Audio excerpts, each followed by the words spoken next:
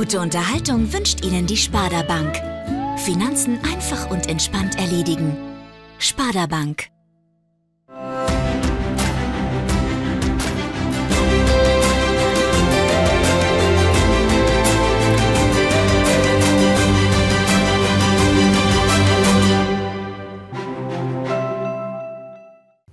Sie schauen den Allgäu TV Wochenrückblick. Herzlich willkommen, liebe Zuschauer. In der nächsten Stunde haben wir wieder alles für Sie zusammengefasst, was in der vergangenen Woche wichtig war.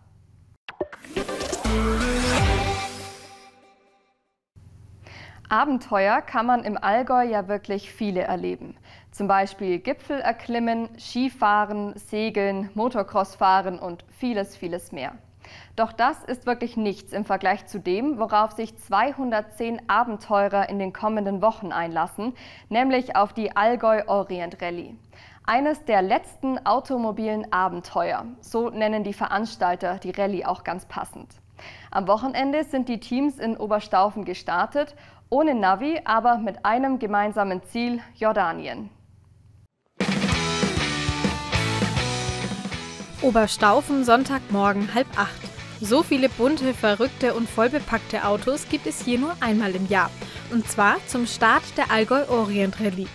Also die Autos müssen mindestens 20 Jahre alt sein. Und dürfen nur 1111 Euro kosten.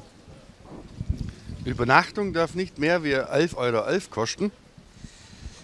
Wir dürfen keine Autobahnen benutzen, keine Mautstraße und keine Straße, die irgendwas kostet. Und wir dürfen am Tag nur 666 Kilometer fahren. Und für mich war nichts übrig. Das Oberallgäuer Team Schlaglochschlucker ist eins von 52 und mit drei Autos bei der diesjährigen Allgäu Orient Rallye dabei. Aus einem Besuch beim Start der Rallye im letzten Jahr wurde ein Das müssen wir auch machen und so wurden Svenja und Jürgen mit vier weiteren Freunden zum Team Schlaglochschlucker. Juli war ja die Anmeldung um 3.33 Uhr und 3.34 Uhr waren wir dann dabei im Team 22. Und ähm, dann haben wir eigentlich schon angefangen, die Autos zu suchen, weil die kriegt man halt nicht so schnell irgendwo her. Und da sind wir tausende Kilometer gefahren, um diese Autos zu finden. Und das haben wir ja dann auch. Und eigentlich, seit wir sie haben, schrauben wir da dran rum. Ja. Ja, genau. Also teilweise waren die wirklich Schrott. Es hat sehr viel nicht funktioniert, es war sehr viel undicht. Aber okay, wir haben alles soweit auf drei gekriegt. Wochenende für Wochenende. Aber es hat auch jetzt, Spaß gemacht ja. im Team. Das schweißt schon zusammen. Doch nicht alle Teilnehmer hatten so viel Spaß bei der Vorbereitung und eher Bedenken wegen der aktuellen politischen Situation im Orient. Deswegen sind auch einige Teams abgesprungen, sodass es in diesem Jahr statt 300 Autos nur 110 und drei Motorräder sind. Veranstalter und OK-Chef Wilfried Gehr ist stolz auf die mutigen Verbliebenen. Ja, jetzt schauen wir mal, wie es mit so weniger Teilnehmern ist. Äh, hoffentlich wird die politische Situation besser. Hoffentlich können wir auch ein bisschen mit dieser Rallye was dazu beitragen, dass, es denn, dass die Leute mehr zu, äh, zusammenkommen und dass endlich mit diesen äh, Streitereien auf der Welt aufgehört wird. Und so starten auch die Schlaglochschlucker. Angst haben wir eigentlich keine, weil das OK-Team sagt auch, ähm, wir schauen auf eure Sicherheit. Und ähm, in Deutschland kann auch überall was passieren. Das hat man ja gesehen in Berlin. Und von dem her, wir sind da eigentlich ganz positiv. Genau. Kurdengebiete werden gemieden, Kriegsgebiete sowieso. Ähm, Syrien wird umschifft bzw. überflogen. Wir fliegen, die Fahrzeuge werden äh, übers Meer nach Israel geschifft und da nehmen wir sie wieder in Empfang in Haifa. Bevor die Teams hier über die Rampe ihrem Abenteuer und zahlreichen Sonderaufgaben entgegenfahren, wurde die Rallye noch gesegnet. Dabei waren neben christlichen Vertretern auch die Vertreter von Judentum und Islam dabei. Und dann rollen die ersten Autos über die Rampe, darunter nicht nur Allgäuer. Besonders stolz sind wir, dass wir jetzt diesmal zwei Teams aus Israel dabei haben. Wir haben jordanische Teams dabei äh, und wir haben also insgesamt Teilnehmer aus elf Ländern. Das ist ja schon mal was. Und dann geht es auch für das Team Schlaglochschlucker los mit dem wohl letzten automobilen Abenteuer der Welt. Sind sie die Ersten am Ziel, wartet auf sie übrigens ein Kamel. Er ist so typisch für Lindenberg wie für Paris der Eiffelturm, der Hut.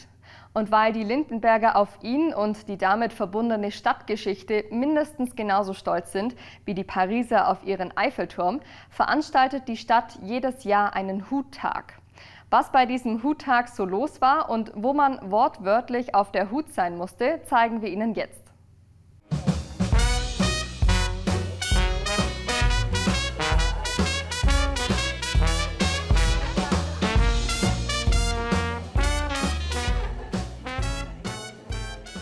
Sie wurden in Lindenberg schon zur Hutkönigin gewählt. Was macht denn einen Hut aus? Ein Hut macht einfach ja Mode, Spaß, Freude. Hut soll einfach Spaß machen. Ja, den habe ich schon sehr lang und das ist ein ganz klassischer in Schwarz, den man einfach zu allem anziehen kann. Haben Sie schon einen Anlass für dieses Stück jetzt? Ja, zum Beispiel äh, Geburtstagsparty meines Mannes wäre zum Beispiel sowas. Oder wir gehen einen Tag davor in die Semperoper, da ist es natürlich auch angebracht. Man kann am Hut auch immer gleich erkennen, ähm, wie sind sie unterwegs. Ja, ist es mehr leger, sportlich, elegant. Sie als Mann, Hut muss mit? Im schlechten Wetter immer. Und auch bei gutem Wetter? Da habe ich einen Strohhut auf. Ich finde, mit dem Hut ist man dann einfach komplett angezogen. Gestern drehte sich in Lindenberg bereits zum 18. Mal alles um den Hut. Am Huttag feiert die Stadt nämlich jedes Jahr ihr Wahrzeichen mit viel Programm und Aktionen in der Innenstadt. Verantwortlich für dieses Programm ist Sascha Schmid, der für den Anlass passend gekleidet unterwegs ist. Mein Hut ist eigentlich eher, ich warte noch auf die Sonnenstunden heute, ist ein Panama und das ist eigentlich ein toller Sommer- und Frühjahrshut und ähm, schützt einfach auch in dem Fall jetzt heute ein bisschen vor Regen, aber im Normalfall eben vor Sonne. Und ich mag den Hut einfach, weil er sehr ähm, luftig und sehr gut zu tragen ist. Wie ein solcher oder andere Hüte entstehen, wurde im Hutmuseum beantwortet. Verschiedene Modelle zur Auswahl hatte man auf dem Hutmarkt ein paar Stockwerke darüber oder vor dem Museum. Für gute Laune trotz des Regens sorgten Bands, die auf verschiedenen Bühnen verteilt spielten. Oder aber dieser Herr.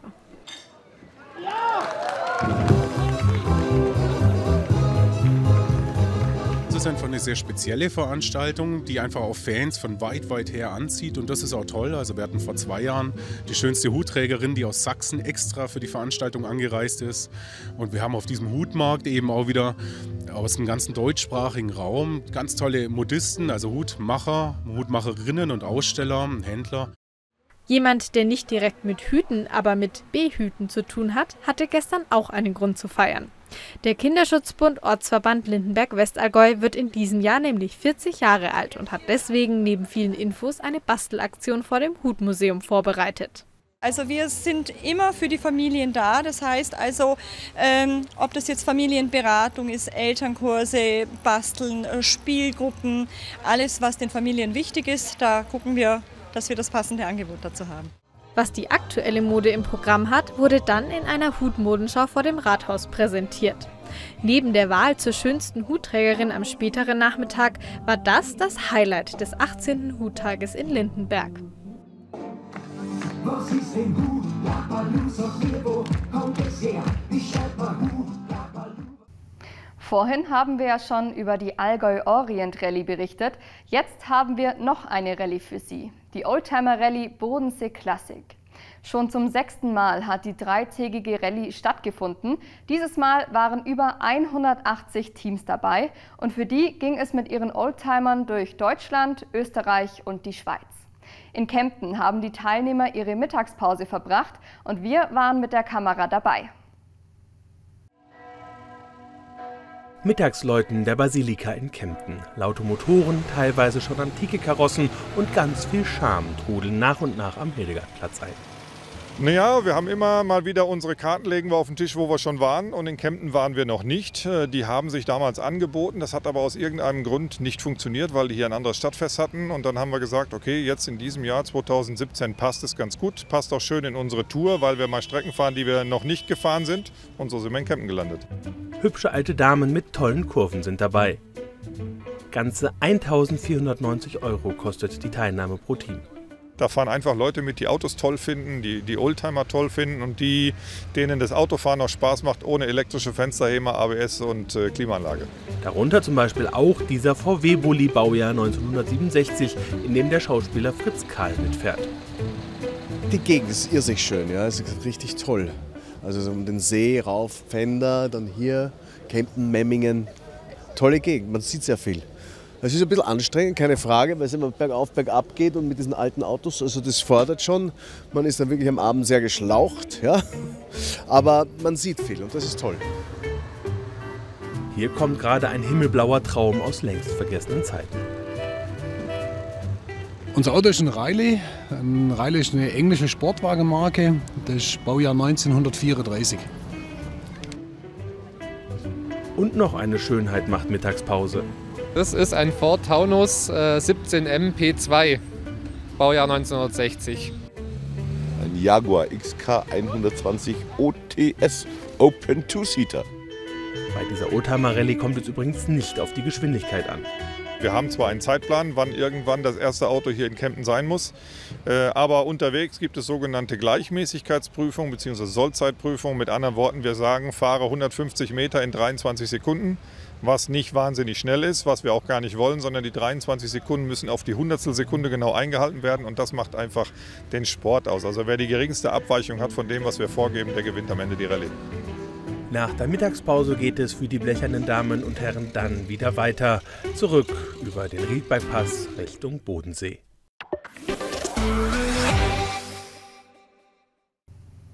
An Anlässen über Europa bzw. die EU zu reden, mangelt es in diesen Zeiten nicht. Hochaktuell sind vor allem der sogenannte Brexit, die Präsidentschaftswahl in Frankreich, aber auch die Unterzeichnung der römischen Verträge, also die Geburtsstunde Europas, die im März 60-jähriges feierten. Ein eigentlich freudiger Geburtstag, der aber überschattet wird von Zweifeln und Ängsten und der Frage, wie geht es weiter mit der EU? In unserer Rubrik Drei Fragen an haben wir Barbara Lochbieler mit diesen wie auch Fragen zu unserer Heimat konfrontiert. Barbara Lochbieler, Europaabgeordnete der Grünen, hat in diesen Zeiten wohl nicht über Langeweile zu klagen. Händeschütteln hier, Umarmungen da. Aber es geht um mehr.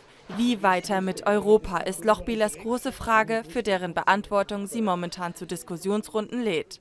So auch gestern Abend in Kempten. Ein Heimspiel im wahrsten Sinne für die gebürtige Obergünzburgerin. Drei Fragen, die das Allgäu wie die gesamte EU beschäftigt, an Barbara Lochbieler.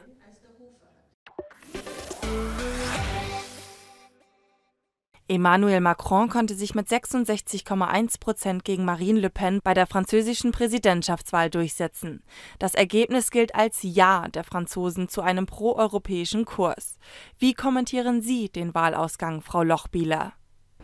Erleichterung, dass keine Rechtspopulistin gewonnen hat, die ja einen absoluten Anti-Europa-Kurs gefahren hat. Und positiv, weil Macron gesagt hat, er will mehr für Europa tun. Er möchte das auch in Zusammenarbeit mit Deutschland tun. Und hierbei muss man ihn unterstützen.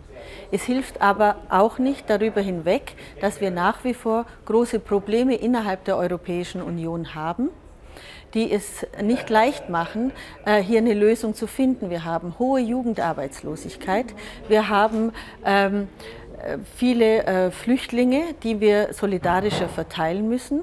Und wir haben auch Themen wie Klimawandel, Umweltschutz, die wir als Europäische Union angehen müssen. Angesichts des sogenannten Brexits und einem immer stärker werdenden Rechtspopulismus in ganz Europa schüren sich Ängste und Zweifel gegenüber der Idee EU werden lauter. Wie bedroht sehen Sie die Europäische Union? Wenn ich zurückschaue, dann haben wir in den letzten eineinhalb Jahren wirklich massive Angriffe auf das europäische Projekt gehabt und es war sehr schwierig zu sehen, wie es weitergeht. Die äh, Gefahr, dass die Rechtsradikalen das europäische Projekt zerstören, die sehe ich weniger. Wir haben Erfolge gehabt in Österreich, dass sich ein Pro-Europäer durchgesetzt hat. Sehr schlechte Ergebnisse für die Rechtspopulisten und Europagegner in den, Holland, in den Niederlanden. Und in, mit dem Ausstieg äh, der Großbritanniens aus der EU, das ist jetzt nicht alles rechtsradikal, aber sie haben auch mit sehr vielen Lügen dieses Referendum äh, beeinflusst. Da sieht man ja jetzt schon langsam, dass dies äh, sehr zum Nachteil ist der Bevölkerung in Großbritannien. Die AfD in Deutschland, auch sie konstant unter einem zweistelligen Ergebnis. Das heißt, es gibt keinen Durchmarsch der Rechten, aber es gibt auch keine Entwarnung, weil sie vertreten ja, sagen wir mal, ein Gedankengut, das auf das Gegeneinander ist und nicht das Miteinander. Und die EU lebt aber davon, dass man miteinander arbeitet und gut zusammenarbeitet. Das Riedberger Horn ist ein Thema, das das Allgäu spaltet. Aktuell steht eine Änderung des Alpenplans bevor, damit der Bau einer Skischaukel genehmigt werden kann. Wie beurteilen Sie als Politikerin, aber auch als Allgäuerin das geplante Vorhaben der Staatsregierung? Also unser Riedberger Horn ist ja im Schutzgebiet C, das hat den stärksten Schutz. Und warum ist es so? Das hat man schon in den 50er Jahren so eingerichtet, dass es in den Alpen diese Schutz- und Ruheräume gibt für die Natur, aber auch für uns, die wir hier leben.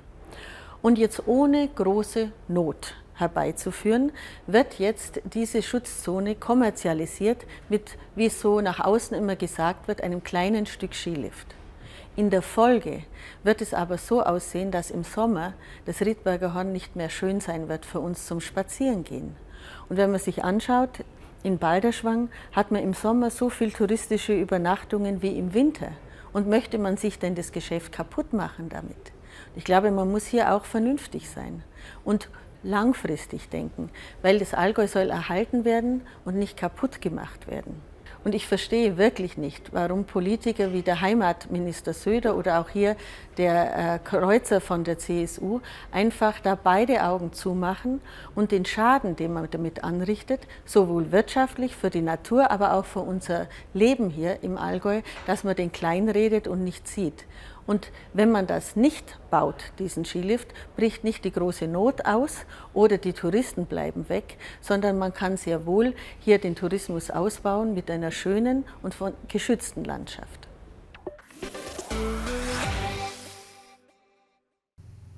Eine Close, eine totale, Blende, ND-Filter und, und, und. Alles Begriffe, die im Alltag unserer Redaktion eigentlich täglich fallen. Außer Hobbyfilmer, Fotografen und Kollegen aus der Medienbranche werden die meisten mit diesen Begriffen aber nichts anfangen können.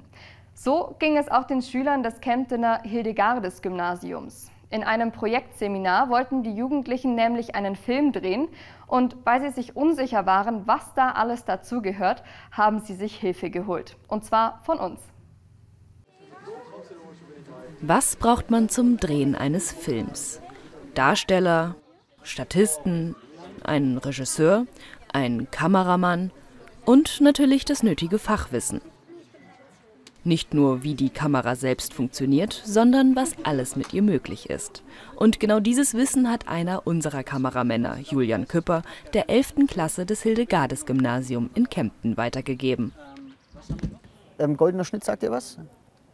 Äh, das war so 3, 5 oder 3, 2, irgendwie sowas. Ja, genau. Also du, du kannst dir oft mal so ein Gitternetz anzeigen lassen, weil es auch für die Fotografie wichtig ist. Wenn ich dir das Bild mal so zeigen darf, das ist schon gar nicht so schlecht, weil ähm, du hast die Perspektive einmal, weil hier rechts unten ähm, deine Protagonisten stehen und hier links oben die Statisten und du hast die Perspektive vom Gebäude. Aber erst einmal zurück zum Anfang. Was wird hier überhaupt gedreht? Wir bieten jedes Jahr für die 11. Klassen Projektseminare an, bei denen maximal 15 Schüler in einer Gruppe zusammenarbeiten und ein, äh, ein Projekt mit einem richtigen Produkt entwickeln. Und in unserem Fall ist dieses Produkt eben ein Film. Und das Ganze ist dann immer speziell fächerspezifisch. Und da ich Biologielehrerin bin, dachten wir, wir drehen jetzt mal einen Film zum Thema Verhaltensforschung weil im Bereich von Verhaltensforschungen sind die Filme uralt. Da gibt es Konrad Lorenz von 1900 irgendwas. Das sind uralte Filme, die mir nicht so gefallen haben. Dachten wir, wir bräuchten mal was ganz Neues. Wir wollen was machen, ähm, was moderner ist. Auch wenn ihre Lehrerin erst einmal an das Verhalten von Tieren dachte, die Schüler hatten etwas anderes im Sinn. Sie wollen das unterschiedliche Verhalten von Jungen und Mädchen in ähnlichen Situationen darstellen. Dafür wollen sie Szenen drehen, die ihre Protagonisten im Alltag zeigen, wie eben hier in der Schule. Doch Film ist so viel mehr, als nur die Kamera auf ein paar Darsteller zu halten und Record zu drücken. Wenn du nochmal Richtung Eingang filmst und die Mädels stehen nochmal dort unten und laufen dann ins Gebäude und in dem Moment kommt der Dritte hier raus, dann, dann hättest du einen Anschluss zu der Szene davor, auch wenn es getrennte Filme sind. Ne? Wenn du es dir anguckst, schaust du erst das mit den Mädels, verhaltenstechnisch abgeschlossen, okay? Dann schaust du dir den nächsten Film an und denkst dir, hey, Moment mal, schau mal. Ach klar, da hinten stehen die noch und ratschen, haben wir im Film davor gesehen. Und dann kommt er von dort und sagt, hey, hast du die äh, neue gesehen? Nur dann musst du die Leute koordinieren, die hier stehen und du musst die Mädels koordiniert bekommen und du musst von dem Eingang mit ihm, der läuft, mitschwenken bis zu dieser neuen Szene hier. Ne? Das könntet ihr machen, wenn, wenn ihr es anspruchsvoll wollt und Bock drauf hättet. Doch jetzt geht es erst einmal um die Basics, denn das heute Gelernte kann auf alle weitere Szenen, die folgen, angewendet werden. Ja, die nächsten Schritte sind ähm, das Drehbuch noch ein bisschen anpassen. Also vor allem so Sachen wie Schauplätze, Kamerasperspektiven und so, das hatten wir jetzt bisher noch nicht. Das ist jetzt heute neu dazugekommen. Und ja, dann im Juli, glaube ich, Ende Juli, so 22., 23., da haben wir so ein Filmewochenende, wo wir dann eben drehen. Und auch bei der Nachbesprechung des gedrehten Materials bleibt der Lerneffekt nicht aus. Warum haben wir das gemacht? Hat irgendjemand eine Idee dazu? Warum wir das Bild so gewählt haben? Ja, ihr dürft auch einfach quatschen. So weit sind wir noch nicht, dass ihr euch melden müsst bei mir. Das über der Schulter ist, also over the head shot. Mhm. Und, ähm, dass man es aus der Perspektive quasi hat, von der neuen da, glaube ich, wenn es neu ist. Ja, genau. Und wir hatten ja vorhin gerade gesagt, irgendwo interessieren uns doch am meisten die Gesichter. Und wir sind zwar im zweiten Bild ja schon ein Stück näher gekommen an die Mädels. Ähm, und trotzdem ist natürlich das Bild immer noch interessanter, weil ich die Gesichter noch viel besser sehen kann. Ne? Drehorte, Story, Text und Schnitt. Alles sollte am Ende zusammenpassen. Wir sind jedenfalls gespannt auf das Ergebnis. Bald ist es wieder soweit. Wenn es im ganzen Allgäu nach frisch gemähtem Gras riecht, die Traktoren über die Wiesen brummen und die Bauern ihr Heu machen, ja dann ist Mähsaison. Klar, das gehört zum Allgäu und zur Landwirtschaft hier einfach dazu. Doch die Mähwerke können auch gefährlich werden, und zwar für Tiere. Oft hört man ja vom Tod durch Mähwerke, den vor allem Rehe erleiden. Einige Altusrieder Kinder wollen das aber künftig verhindern. Wie genau? Das erzählt Ihnen Matthew Schene-Schön. Noch können die Bauern das mit der Mähsaison vergessen. Der Regen, das nasse Gras und der feuchte Boden lassen die Traktoren und Mähwerke noch ein Weilchen in den Garagen und Schuppen warten. Trotz des Schmuddelwetters war hier am Ortsrand von Altusried aber einiges los. Zum Wohle der Tiere. Nein, nicht ihm hier, sondern zum Schutz junger Rehe. Kids for Kids heißt die Aktion und soll Rehe vor dem Mähtod bewahren. Denn Mähsaison ist gleichzeitig die kritischste Zeit für Klein Bambi. Ja, das ist so, dass die ähm, die Rehgeißen zur selben Zeit, also im Frühjahr, ihre Kitze ins hohe Gras setzen, ähm, wie der Bauer seinen ersten Schnitt mäht. Also es trifft nicht jedes Jahr genau gleich zusammen, manchmal trifft es auch nicht zusammen, aber so ungefähr ist es genau die gleiche Zeit. Und damit kommen wir zu diesen sogenannten Rehscheuchen. Die sollen künftig den Tod durch Mähwerk verhindern. Ähnlich wie Vogelscheuchen sollen sie die Tiere vom Feld fernhalten. Aber natürlich nicht zum Schutz der Wiese, sondern zum Schutz der Tiere. Denn jedes Jahr sterben allein im Allgäu zig Rehkitze durch das Mähwerk. Das natürliche Verhalten eines Rehkitzes vor Gefahr, ähm, zwar vor anderen Gefahren, nämlich vor wilden Türen schützt. Die Rehkitze drücken sich ganz fest an den Boden hin, sind auch geruchsfrei. Ähm, das schützt vor wilden Tieren, aber nicht vor Mähwerk. Da wäre wär natürlich ein Fluchtverhalten geschickter, das ist aber nicht so. Und ähm, deswegen passiert es immer mal wieder. Äh, dass ein Bauer natürlich ohne Absicht ähm, ein Rehkitz vermäht, weil er es nicht rechtzeitig entdeckt. Die Grundschüler und Kindergartenkinder aus Altusried haben sich ganz viel Mühe gegeben, die Scheuchen so auffällig wie möglich zu gestalten. Denn je mehr Glitzer, Glitzer und je mehr Silber, desto eher holt die Rehmama ihr Junges aus dem Feld. Damit der Bauer die Rehe nicht übermäht und Davor haben die dann Angst und dann holt die Rehmama ihre Kids aus dem Feld. Ursprünglich kommt die Idee mit den Rehscheuchen aus Unterfranken. Von dort aus hat sie ihren Weg bis ins Oberallgäu gefunden. Kommt sehr gut an bei Bauern, Jägern und den Kindern. Bevor man auf die Idee mit den Aufstellern gekommen ist, waren die Chancen sehr gering, ein Rehkitz im Gras vor dem Mähtod zu retten, wie uns Jägerin Bärbel Mozart erzählt. Bislang haben wir es auch versucht, dass wir einfach gesagt haben, wir äh, wenn der Bauer angerufen hat, wir Jäger laufen oft mit Hunden hinaus, Was eine richtige Gefahr ist, auch der Hund riecht sie nicht. Die Rehkitze haben die ersten zehn Tage keinen Geruch, sondern die ducken sich. Das ist halt eine Glückssache, wenn man dann eben darauf hinstoßt. Dann hat man wirklich versucht, einfach durchzulaufen. Andere Chancen haben wir keine gehabt. Also gibt es nun eine Lösung von Kids für Kids. Die Scheuchen haben aber offenbar nicht nur bei Rehen eine eindrucksvolle Wirkung hinterlassen. Umso besser. Das Allgäu, weil ich hier die Werkstatt habe, weil ich hier aufgewachsen bin und hier passt einfach alles. Mir gefällt Allgäu aus dem gleichen Grund. Ich habe hier meine Werkstatt, ich lebe hier sehr gern und man hat einfach den Platz und die Weite, um zu arbeiten und die Inspirationen von der Natur. Allgäu TV. Wir sind das Allgäu. Allgäu TV in HD. Informationen unter allgäu-tv.de.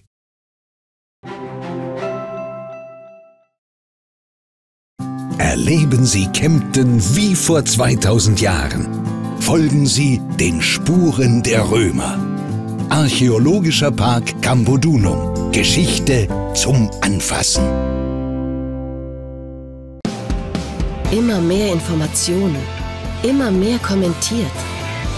Meinungen gibt es genug. Ich will eine Berichterstattung, die alle Seiten betrachtet. Weil nur ganzes Wissen meinen Blick erweitert. Jedes Wort wert. Die Allgäuer Zeitung.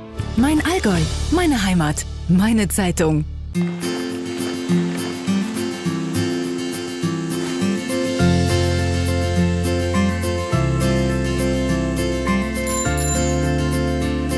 Waffenbär. Das Haus der Jagd und Tracht in Kempten. Reinhard Heidel, Küche und Wohnen im Herzen von Markt Oberdorf. Hier ist die Heimat von echten Spezialisten für alle Fragen rund um Küche, Küchenplanung und Esszimmer. Im Mittelpunkt steht dabei immer die Zufriedenheit des Kunden. Millimetergenau kann man hier alles planen, angefangen beim Grundriss bis hin zur Form und Material der Schubladengriffe. Wir sind sehr flexibel. Bei uns der, steht der Kundenwunsch im Vordergrund. Bei uns heißt, äh, wir haben nur einen Ansprechpartner, das heißt von der Grundplanung, Erstgespräch vom Kunden, über die Planung, Muster aussuchen, Angebotbesprechung, Montage, Service, äh, ist nur ein Ansprechpartner zuständig. Der Vorteil ist, dass beispielsweise bei Küchenrenovierungen alles straff und von einer Hand organisiert werden kann. So kann die Familie schnell wieder selbst im Trautenheim kochen. Rund um Herd und Küche gibt es individuell abgestimmte, intelligente Detaillösungen. Eine in der Kochstelle integrierte Dunstabzugshaube oder besonders hygienische, kantenfrei eingebaute Kochfelder sind nur ein paar dieser Möglichkeiten. Neben solch praktischen Lösungen kümmert man sich bei Heidel aber auch um das richtige Design. Denn in vielen Häusern versammelt sich die Familie regelmäßig zum Kochen und Essen in der Küche. Schön, wenn man das dann in der passenden, gediegenen Atmosphäre tun kann. Die richtige Beratung dazu gibt es bei Heidel Küche und Wohnen.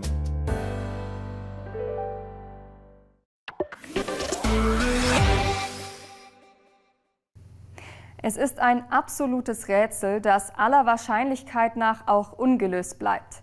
Die Blasen der B16. Vor fast genau einem Jahr haben wir über diese kleinen Asphalthügel berichtet. Das Mysteriöse, bis heute kommen sie immer wieder und keiner kann sich erklären, warum. Ganz nach dem Motto Außergewöhnliche Situationen erfordern außergewöhnliche Maßnahmen war die B16 zwischen Kaufbeuren und Biesenhofen drei Tage lang gesperrt. Denn die Blasen samt der eigentlich niegelnagelneuen Straße wurden rausgerissen. Biesenhofen Richtung Kaufbeuren. Aktuell leider nicht möglich. Für drei Tage heißt es, statt den sechs Kilometer kurzen Weg nach Kaufbeuren, bitte der Umleitung folgen. Auch wenn das einige Fahrer trotz Absperrung nicht wahrhaben wollen. Aber schon nach wenigen Metern ist Schluss mit der Straße. Grund sind, ja, immer noch die Asphaltblasen der B16. Seit mittlerweile Jahren stellen sie die Behörden und Wissenschaftler vor ein großes Rätsel. Ich würde Ihnen gerne erklären, was es mit den Blasen auf sich hat. Wir sind nur leider auch mit wissenschaftlicher Unterstützung der Technischen Universität München äh, nicht drauf gekommen, worauf diese Blasenbildung, dieses Phänomen zurückzuführen ist. Gewiss ist nur, dass die Straße eigentlich komplett neu war, sich dann aber unregelmäßig wölbte, ohne dass man eine Erklärung dafür fand. Gefährlich war dies für Autofahrer zwar nicht, für Motorradfahrer aber sehr wohl. Darum mussten diese hier ihr Tempo entsprechend anpassen. Nach über einem Jahr Forschen, Überlegen und Grübeln dann der drastische Entschluss. Wir haben uns heuer im Frühjahr, nachdem die Blasen wieder erwarten und erstaunlicherweise auch in der kühlen Jahreszeit sich nachgebildet haben, entschieden, die Decke rauszufräsen und sind gerade dabei, eine neue Decke einzubauen. Die nur wenige Jahre alte Teerstraße kommt also weg, in der Hoffnung, dass ein neuer Straßenbelag keine Blasen mehr wirft. Rund 120.000 Euro zusätzliche Kosten, für die ja wer eigentlich verantwortlich gemacht wird. Da muss man konstatieren, dass die Baufirma vertragsgerecht gebaut hat. Wir unsere, unser Regelwerk überprüft haben. Es ist alles in Ordnung gewesen nach dem Papier. Die Blasen hatten wir zwar nicht bestellt, aber wir konnten die Ursache nicht finden. Die Firma war damit hier aus der Haftung entlassen. Wir haben nichtsdestotrotz einen gemeinsamen Weg mit der Firma gefunden, hier einvernehmlich eine Lösung herbeizuführen. Immerhin, denn die Blasen haben ohnehin schon für genug Unannehmlichkeiten gesorgt. Bleibt nur zu hoffen, dass die Blasen mit neuer Asphaltierung endgültig, sagen wir mal, geplatzt sind. Wer unseren Kollegen Jonas Strobel kennt, der weiß, wie gerne er Volleyball spielt. Und genau deswegen haben wir ihn als Reporter zum Treffen mit Lenka Dürr geschickt. Lenka Dürr, Sie kennen sie bestimmt, Profi-Volleyballerin und gebürtige Allgäuerin. Im Gespräch mit Jonas Strobel erzählt sie über ihr Leben als Profi und ihren Werdegang. Doch bei dem Treffen wird nicht nur gequatscht, sportlich wird's auch noch. Wenn man die 1,70 Meter große bzw. kleine Lenkerdür so neben mir sieht, vermutet man nicht gerade, dass sie Volleyballprofi ist. Doch die gebürtige Allgäuerin ist schon viele Jahre in diesem Sport erfolgreich. Als Juniorin wurde sie Europa- und sogar Weltmeisterin außerdem zweimal Vize-Europameisterin mit der A-Nationalmannschaft, um nur ein paar ihrer Titel zu nennen. Ihr jüngster Erfolg liegt gerade mal zwei Wochen zurück. Mit ihrem Verein, dem Schweriner SC, ist sie deutsche Meisterin geworden. Grund genug, mich mit der 26-Jährigen zu treffen. Lenker, erstmal herzlichen Glückwunsch zum dritten Meistertitel, oder? Richtig, ja, genau. Ist das irgendwas anderes jetzt für dich? Du hast ja schon zwei oder? Ja, ja, ja, ja, ist schon anders. Ähm, erstmal sind die beiden ersten schon allein ganz schön lang her, 2008, 2010. War eine riesen aufregende Erfahrung für mich. Und ähm, jetzt allerdings auch, äh, weil ich eine ganz andere Rolle hatte, also viel mehr Verantwortung. Ich war eigentlich der Kapitän der Mannschaft. Jetzt auf dem Protokoll und im Spielfeld geht es natürlich nicht durch die, durch die Wechseleien, aber ja, war, war eine ganz andere Rolle. Ich hatte einen ganz anderen Status. Ähm, konnte, ja, glaube ich, auch ein ganz anderes Spiel von mir selber zeigen, weil es einfach schon Jahre her ist und in der Zeit viel passiert ist.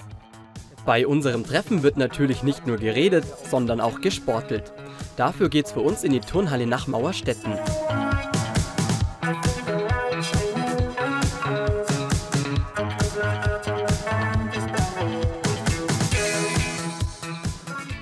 Und weil man als Volleyballprofi körperlich ziemlich fit sein muss, beginnen wir mit Krafttraining. Und das dann in der Regel auch 10 bis 12 Mal. Aber dies. Und je nachdem, ne, wie man den Winkel dann mhm. verändert, wird es natürlich auch schwieriger. Wird schwerer. Also je weiter ich an den Auffangpunkt der Schlinge gehe, wird es schwerer. Und je gerader ich natürlich werde. Dann versuche ich jetzt mein Glück. Aber da wir ja viel, oder ich vor allem auch viel so nur stehe in im Volleyball brauche ich hier diese Partie, dass ich auch schön dagegen arbeite. Man braucht immer diesen Gegenpart auch. Ne? Also jetzt was so? Gut, genau. Also wir starten so, wir öffnen uns und nach oben und wieder zurück und nach vorne. Genau. Perfekt. Wie ein Einserli. Das war zu leicht. Merke ich schon. Okay. Deswegen gehen wir beide an Ball, weil es soll ja um Volleyball gehen und nicht ums Krafttraining. Also schnappen wir uns den Ball. Auf geht's. Dann geht's los. Mal gucken, ob du spielen kannst. mal gucken, ob du spielen kannst. Da bin ich auch gespannt. ah, das sieht doch schon gut aus. Das ist einer vom, vom Fach. Ja, das stimmt allerdings. Das ist so meine erste Spielstätte gewesen. Kann ich mich auch noch daran erinnern. Was fasziniert dich denn an dem Sport Volleyball? Ja, man hat ja für jede Berührung super wenig Zeit. Ähm, es, ist, es, gibt äh, ja, viele verschiedene Techniken und eben auch im Spiel gibt es bei jedem Spielzug einfach einen Punkt, ohne dass man jetzt auf Zeit spielt. Und ähm, ja, das kann halt echt super spannend werden. So, jetzt haben wir genug gespielt, jetzt wird's ernst. Oha. Ich fordere dich nämlich zu ein paar kleinen Challenges raus, weil ich bin quasi genauso gut wie die deutsche Meisterin. Ähm, traust du dich? Logisch, was soll ich auch anders sagen, gell? Nee, mach mal. Dann sei gespannt. Alles klar.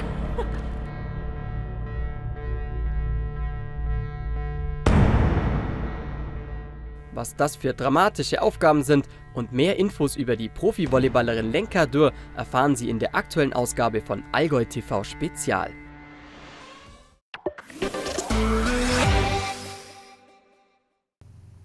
Es ist eine unendliche Geschichte und sie zählt zu den Geschichten, über die wir bei Allgäu TV mit am häufigsten berichtet haben. Sie ist also zu vergleichen mit dem großen Loch in Kempten, der Therme in Lindau und nicht zu vergessen der Elektrifizierung der Bahnstrecke München-Lindau.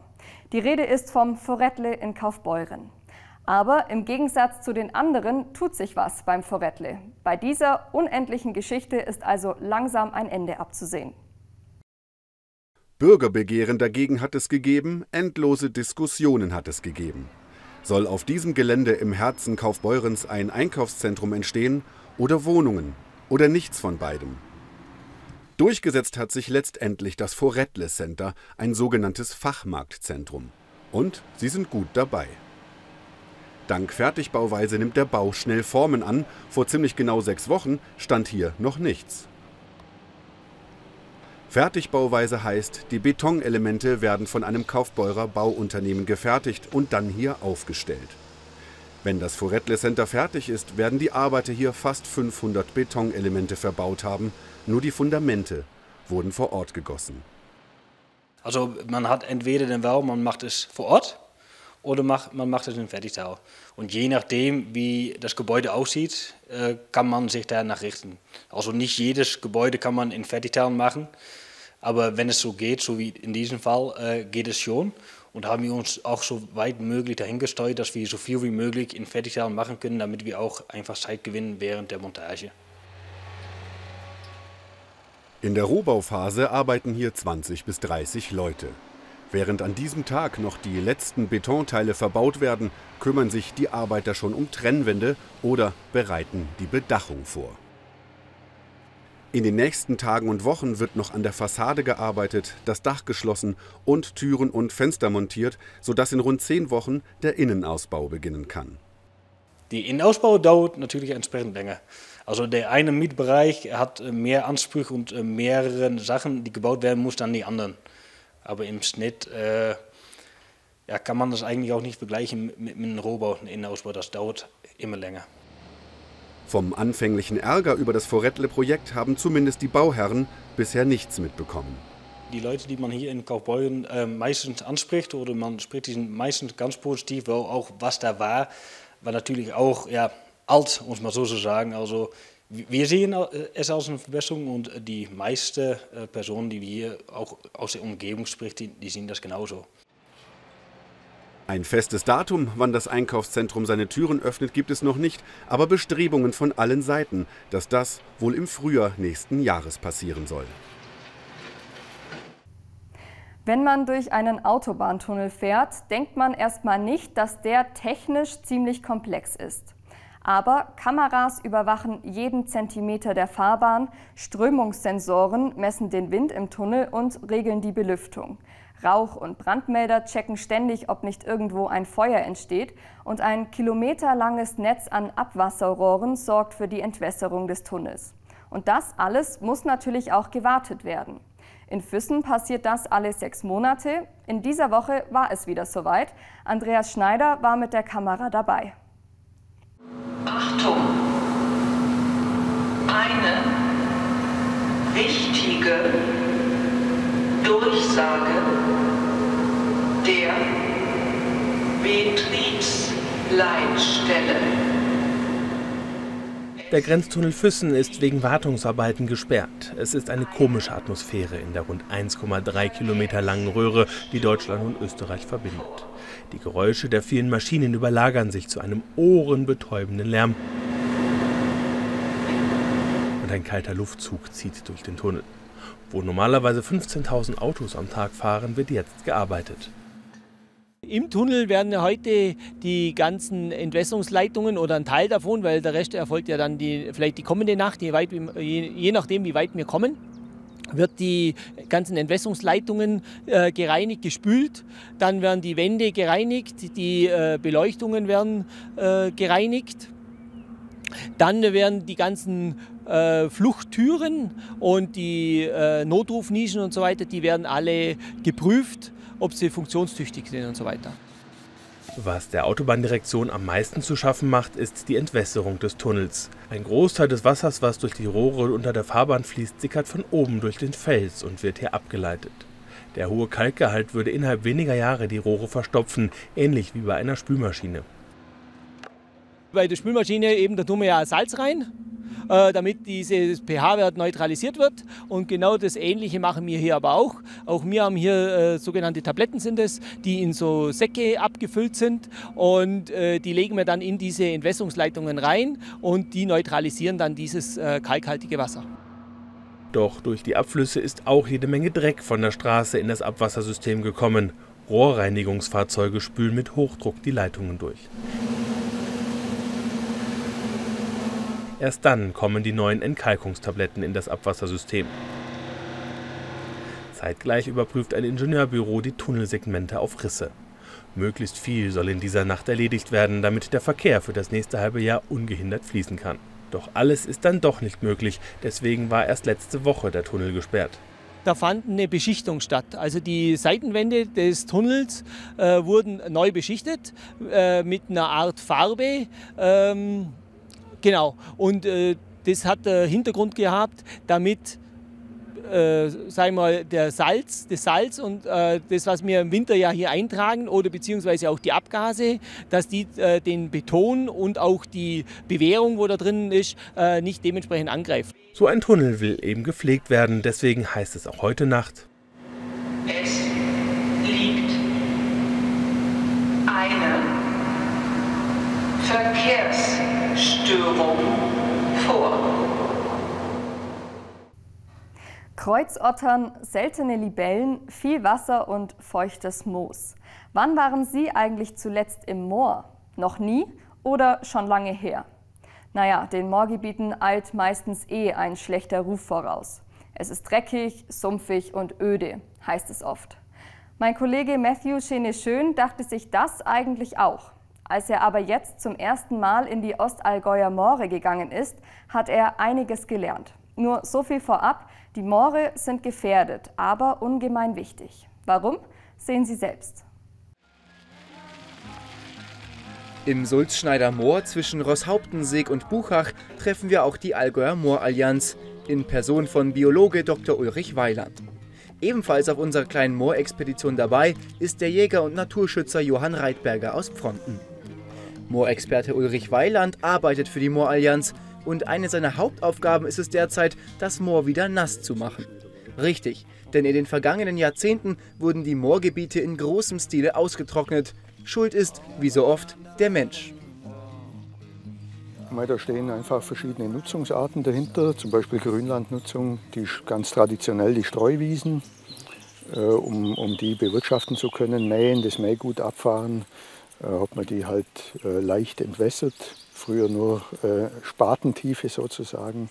Und mit fortschreitender Technik hat man da natürlich ausgeklügeltere Systeme entwickelt. Mhm. Und genauso der Torfabbau, weiter drin im Moor, im Hochmoor.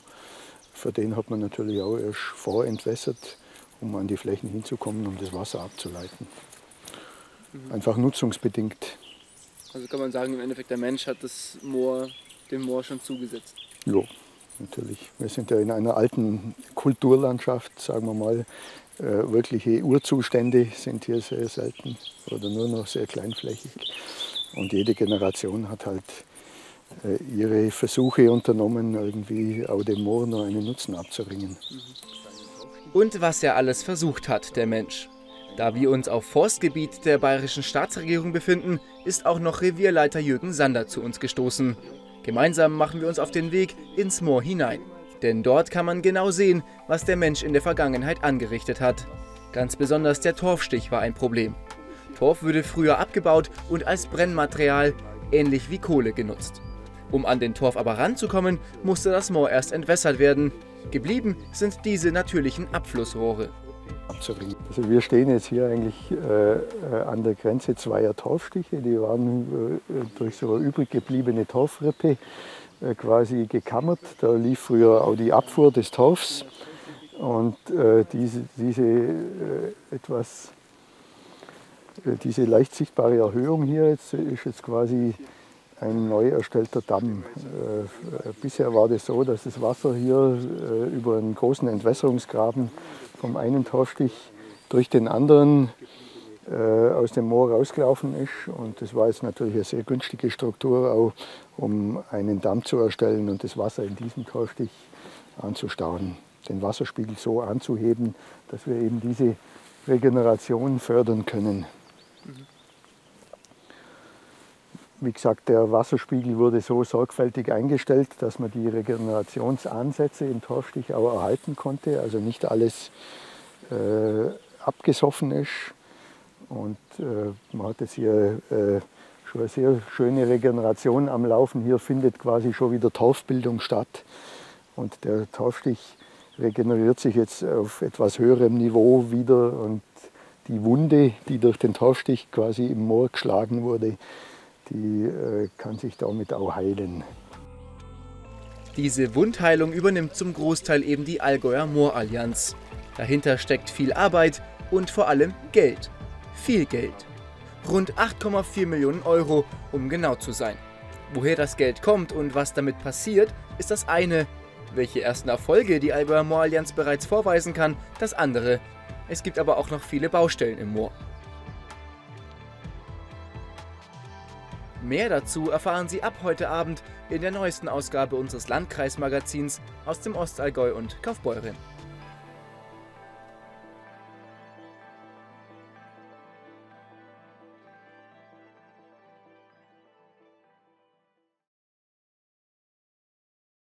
Unser Allgäu. Unser Allgäu.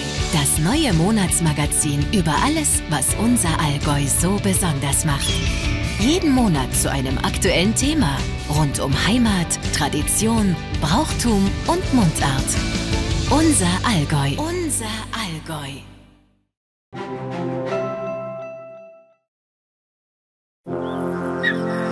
Gut geht's uns schon, uns Allgäuer. Unsere Heimat, unsere Natur und unsere Traditionen gibt's kein zweites Mal. Und erst unsere Leid. Die denken sich lieber mehr, als sie sagen. Gern bei einem Allgäuer Büblebier, unserem Bier. Allgäuer Büblebier aus dem Allgäuer Brauhaus. Unser Bier. Griesti.de, das Mitmachportal der Allgäuer Zeitung. Mit eigener Kollektion im Griesti-Shop. Für alle eingefleischten Allgäuer und die, die es werden wollen. Die Griesti-Kollektion erhältlich in allen Servicecentern der Allgäuer Zeitung. Unter griesti.de slash shop oder unter 0831 206 190. Griesti.de, meine Heimat online.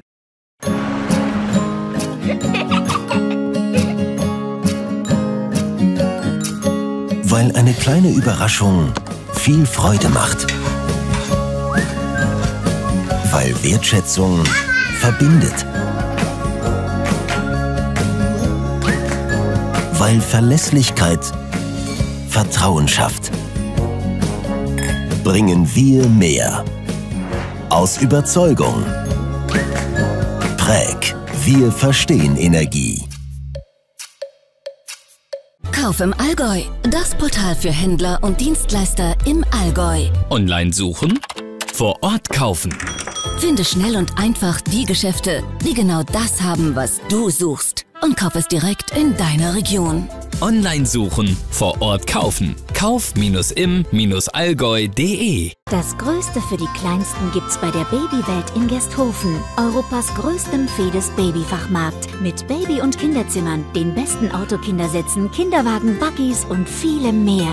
Die ganze Welt der Babys auf über 5000 Quadratmetern. Einfach riesig und einfach zu finden im Hedelpark Gersthofen. Direkt an der A8 und der B2 mit riesigem kostenlosen Parkplatz. Hier steht der Genuss an erster Stelle. Umfangreiche Tipps zu Beauty, Wellness, Erholung, Freizeit, Sport und Gesundheit. Das Magazin zum Wohlfühlen im Allgäu und am Bodensee. Aussichtsreich.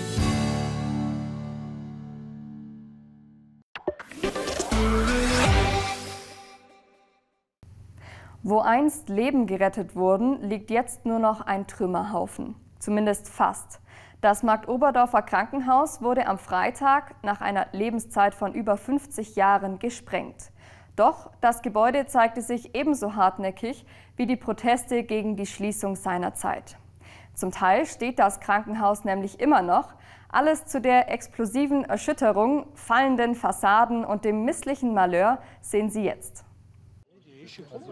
Klar, eine Teilenttäuschung ist natürlich da, aber äh, ich, kann nicht, ich kann nicht alles wissen sozusagen. Und äh, dass man jetzt hier die, die, die Bausubstanz so hat, dass es nicht mitzieht, das Gebäude, das war einfach nicht äh, vorausbestimmt. Und, ja. Aber klar hätte ich mir gewünscht, dass das so wie der vordere Teil gekommen wäre und ist halt nicht. Erklärungsversuche und enttäuschte Blicke statt einer erfolgreichen Explosion. Sprengmeister Olaf Heuer gibt sich tapfer, wenn auch sichtlich unzufrieden, nach der halbgeglückten Sprengung des Marktoberdorfer Krankenhauses. Aber von Anfang an, was ist eigentlich passiert? Gestern Nachmittag 15 Uhr, eine Stunde vor Sprengung des Marktoberdorfer Krankenhauses. Viele hunderte Menschen versammeln sich rund um das Gebäude aus den 1960er Jahren. Letzte Fotos, Abschied nehmen von einem Gebäude, was für die meisten Marktoberdorfer viel mehr als nur ein Betonklotz ist. Mit dem Krankenhaus ist natürlich sehr, sehr viel, äh, was das Leben betrifft, verbunden. Hier in dem Krankenhaus, da haben viele Bürger das Licht der Welt erblickt. Da haben auch viele Bürger ihre Augen für immer geschlossen.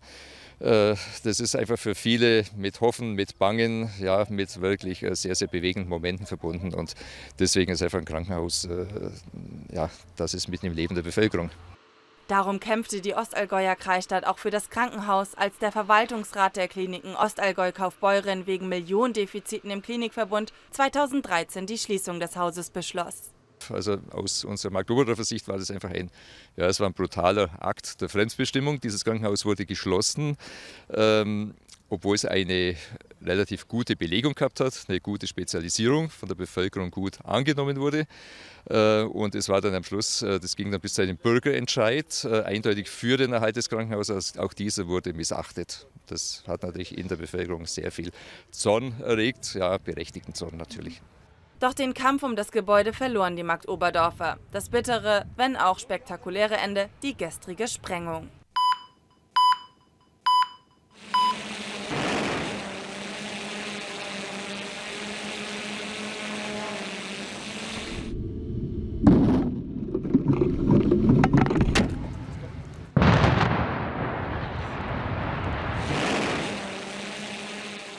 Circa 80 Kilogramm Sprengstoff und 800 Zünder bringen das 20 Meter hohe Gebäude zum Einsturz. Aufgrund seines Eigengewichts von 22.000 Tonnen Beton und Mauerwerk kippt das Krankenhaus bei einer sogenannten Fallsprengung zur Seite in Richtung Hochwiestraße. Doch dann, als sich die Staubwolken langsam verziehen, der Schock. Also wir haben gehofft, dass es auf einmal komplett umfällt. Leider ist ein Teil stehen geblieben haben wir so nicht einkalkuliert. Momentan ist die Sprengmannschaft, das Sprengteam dabei zu testen, zu schauen, äh, sind alle Ladungen losgegangen. Äh, sobald wir das wissen, wenn ein paar noch nicht losgegangen sind, besteht die Chance nachzuspringen. Wird dann heute noch passieren. Wenn das nicht der Fall ist, dann muss unter Umständen das Gelände abgeriegelt bleiben und die Sprengung wird nochmal neu angelegt und zum späteren Zeitpunkt dann komplett gesprengt. Hektik macht sich breit. Zunächst bleiben alle Straßen gesperrt. Absoluter Stau, es geht gar nichts mehr. Unruhe bei den Einsatzkräften und natürlich auch bei uns Journalisten. Was ist schiefgelaufen? Die Ursache war voraussichtlich die äh, geringe Bewährung in den Decken, weil die sollten eben das Gebäude mitziehen und in dem Gebäudeteil sieht man die Bewährung also ganz äh, wenig nur und aus dem Grund ist wahrscheinlich der, der hintere Teil nicht mitgekommen. Das liegt natürlich leider äh, an, an, an der Bausubstanz, für die ich nichts kann.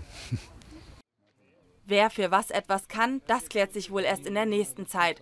Sofort muss aber festgestellt werden, ob der nicht zu Fall gegangene Abschnitt noch nachträglich einstürzen kann oder sich gar noch Blindgänger in ihm befinden. So wie wir es jetzt einschätzen, steht das Gebäude noch relativ stabil an der Stelle, aber äh, es wird natürlich abgesperrt um das Gebäude herum und äh, wird dann eben mit anderen Mitteln bearbeitet. Und wie sich kurz darauf herausstellte, mit anderen Mitteln bearbeiten heißt? Sprengen wird nicht mehr möglich sein, da ist es einfach zu unsicher. Womöglich mit einem langen Baggerarm, dass man da dran geht und, ja, und den Rest zusammenreißt. Also genau das, was man mit der Sprengung eigentlich vermeiden wollte. Die Sprengung und das gesamte Drumherum haben übrigens knapp 120.000 Euro gekostet. Weitere Kosten werden nun wohl noch folgen. Aber es läuft eben nicht immer alles nach Plan. Und das einen Leid ist bekanntlich das anderen Freud. Ja, es ist heute äh, gesprengt und äh, zumindest teilweise äh, zusammengestürzt. Es ist hartnäckig. Ähm, ich denke einfach, dieses äh, es ist ein düsteres Kapitel. Äh, das haben wir in Magdeburg überlebt und wir werden jetzt dort die, die Zukunft gestalten. Zukünftig soll das Areal, wenn es dann irgendwann mal krankenhausfrei ist, für Wohnraum genutzt werden. Aber zunächst bleibt wohl noch abzuwarten, wie lange der Krankenhausgeist hier noch sein Unwesen treibt.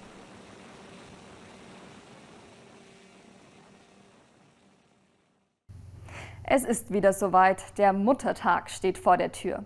Am Sonntag können Töchter und Söhne ihren Mamas wieder Danke sagen. Vielleicht haben Sie auch schon etwas für diesen Tag geplant, lecker essen gehen, einen Ausflug oder doch etwas ganz anderes. In Kaufbeuren gab es dafür auch ganz kreative Vorschläge. Dort haben wir uns nämlich mal in der Innenstadt umgehört, wie die Allgäuer dieses Jahr den Muttertag verbringen und was dabei so alles auf dem Geschenktisch liegt. Wie verbringen Sie denn den Muttertag am Sonntag? Das weiß ich noch nicht. Ich feiere Muttertag jetzt nicht so, weil ich okay. ein Tag wie jeder andere. Man kann auch mal an einem anderen Tag, finde ich, was Schönes der Mama schenken. Wie verbringen Sie denn den Muttertag? Mit meinem Karte. Mit meiner Mama. Und was gibt es für Geschenke? Bilder von meiner Schwester und mir. Ganz klassisch Blumen und Pralinen. Den Muttertag, da haben wir ein Familientreffen. Sind dann Ihre Kinder dabei? Nein, diesmal nicht. Mhm. Geht nicht, aber Verwandte. Ähm, ich denke, wir machen einen Ausflug zum Skyline Park oder sowas. Genau. Und äh, was schenken Sie denn Ihre Mutter zum Muttertag? Blumen, Gutschein. Ähm, für meine Mama habe ich was zum Einziehen gekauft und einen Gutschein. Und welches Muttertagsgeschenk geht denn gar nicht? Was wäre denn total daneben? Mhm, Gutscheine, glaube ich, für irgendwas. Irgendwas für den Haushalt. Ich erwarte am Muttertag keine Geschenke nicht, sondern ich möchte eigentlich das ganze Jahr, ähm, wie soll ich sagen, ja, beachtet werden. Ich würde gerne Danke sagen, Mama, dass du so bist, wie du bist und du hast mir viel beigebracht. Genau, Super. und ich liebe dich. Das war der Wochenrückblick für diese Woche. Am Montag begrüßt Sie an dieser Stelle meine Kollegin Tosca Maria Kühn. Ihnen noch ein schönes Wochenende und bis bald.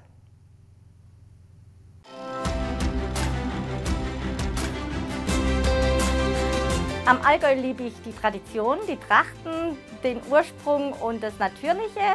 Und ich setze mich aufs Fahrrad und bin im Urlaub. Allgäu TV. Wir sind das Allgäu.